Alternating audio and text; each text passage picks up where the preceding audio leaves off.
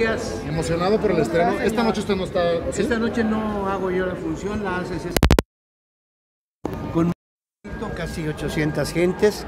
Esperamos que hoy haya más y esperemos que tenga mucho éxito esta obra porque pues somos casi 300 años de escena entre todos, de experiencia. Oiga, señor, Eh, ¿y usted cree que el medio del espectáculo es, es eh, como agradecido con los actores de adultos mayores? ¿Cree que sí es como.? Pues nosotros hemos dedicado toda nuestra vida al escenario, hemos dedicado toda nuestra vida al público.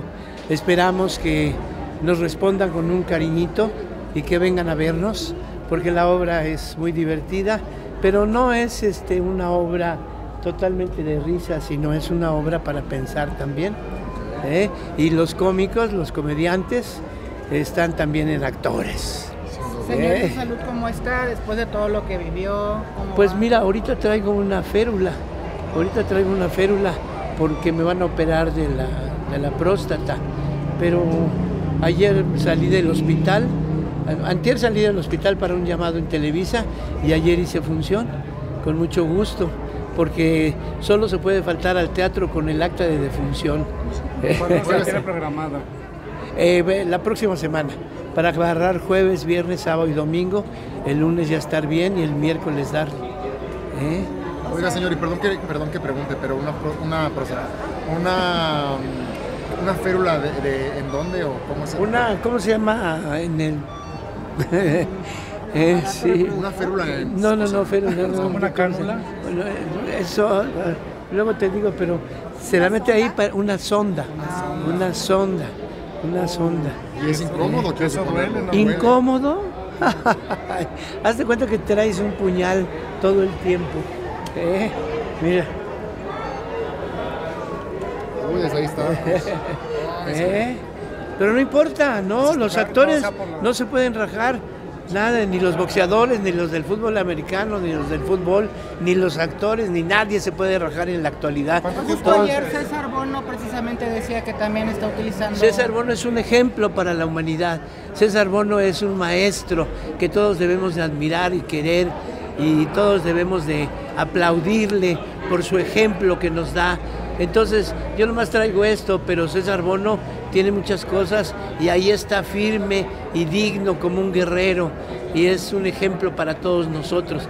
Es el más chico de todos, tiene 71 años, así que como ustedes ven, es, pues ya todos estamos medios betabeles. Señor, y como decía mi compañero hace rato que dijo algo muy importante de los de las personas ya adultas, ¿no? Que muchas veces ya no se les respeta, inclusive hasta ya no se les da empleo, ya son como los que la sociedad desecha.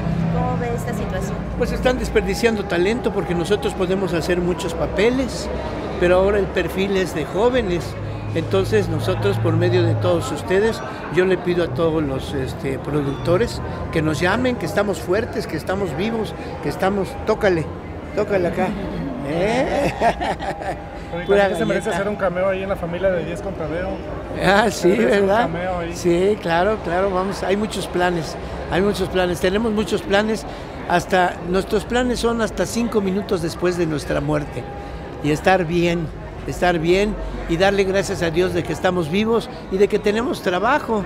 Yo antier tuve llamado en Televisa, estoy en el teatro, y en los fines de semana estoy con Guarachín y Guarachón en una carpa, yo no me rajo, yo le entro a lo que sea. ¿Y su familia qué le dice? Con, pues no se preocupa por usted, así de no vayas Mi, mi o familia algo. cuando, cuando doy para la renta y para el gasto no dice nada.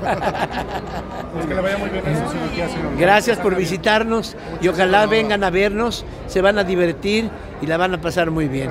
¿Eh? Muchas gracias. gracias. Gracias, señor. Gracias. Gracias, señor.